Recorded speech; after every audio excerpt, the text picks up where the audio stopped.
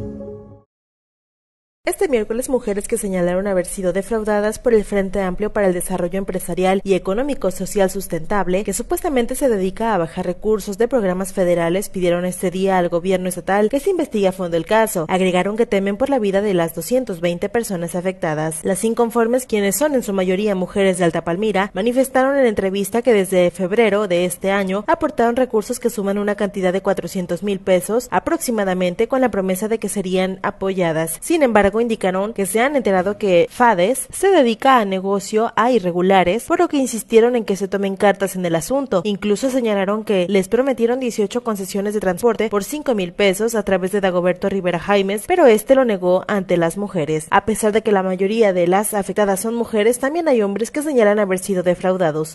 Este, por una persona nos relacionaron con estas personas porque supuestamente era una organización, organización de muchas asociaciones civiles.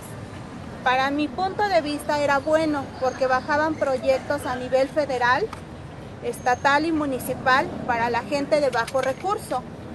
Pero cuando yo les, les explico eso, que nuestra comunidad es muy pobre y que necesita esos recursos, ellos dicen que nos van a otorgar a la gestionadora Miriam Nazario Vergara y ella entra a nuestra comunidad y este, cada martes se hacen unas reuniones en donde la gente ingresa con documentación personal, IFE, CUR, acta y acta de comprobantes de domicilio.